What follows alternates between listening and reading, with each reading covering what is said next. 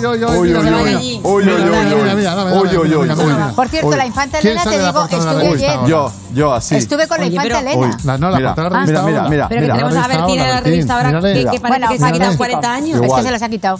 Es que mira, es lo que cuenta dentro, que es verdad, que con, con Bertín, vamos, yo tengo bastante relación porque primero él sí que tiene una fundación en la que está absolutamente volcada Fabiola y donde realmente ahí cada vez que hace falta dinero, este, eh, aparte de ponerlo, Bertín eh, está a- al cabo de la calle. Y es más, la última, la última cosa de la fundación eh, Bertín Osborne estuvo precisamente la infanta, la infanta Elena. Porque aquí hay que decir que él siempre dice que he tenido la suerte de que yo puedo, económicamente, puedo manejar toda la recuperación o todos los fisioterapeutas. Sí, de- de- totalmente. pero hay muchísima gente, fíjate, lo digo un momentín, ¿eh, Vicente?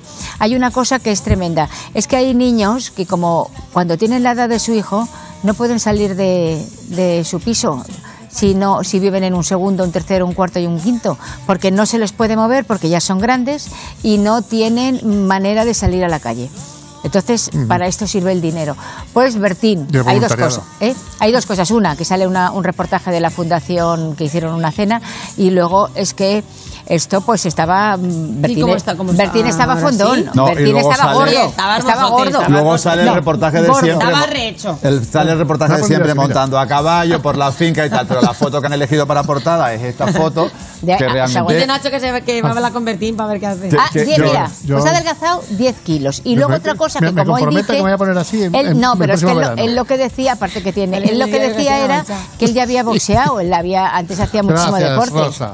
Y entonces él ahora ha vuelto a boxear y, y Ah, vamos, boxea. Ah, y está como Arnold. Ah, pues, Schwarzenegger. la verdad que- Pues, pues vaya ejemplo así de poner. A ver, O sea, la, yo veo por- que te gusta, no, la portada- A mí portada es gu- muy- me- no solamente me gusta, sino que yo he tenido eh, mucha ¿Qué? relación con Ay, él porque susto. fue una de las uno de los primeros cantantes que me mandaron a hacer la gira con él y me lo pasé con él, con Sabina y con Serrat como nunca en la, La vida. portada es de lo más llamativa. Yo años. insisto, Yo dentro, dentro están las típicas fotos del montando a caballo por la finca, de lo de siempre y tal, pero la portada es de lo más. A mí esta mañana cuando la vi. Me ha encantado. A mí me quedé. A ver, a mí Sí, me sí, encanta sí. porque estamos hablando de ella. Es Has- decir, es un has- porte. Pero, has- a, pero a ¿Has ver. sentido cosas? Yo, has- No. A ver, Nacho, yo, yo esta mañana decías, no decía nada bonito. de la- No, a ver, yo te- insisto, cuando estamos hablando de la portada es porque, con- porque, porque llama la atención y es una buena portada. Si no, no le haríamos ni caso. O sea, no seamos hipócritas. Que al final es muy fácil, pero a mí me llama la atención porque a mí la portada mm, me parece como mínimo llamativa. ¿Y él?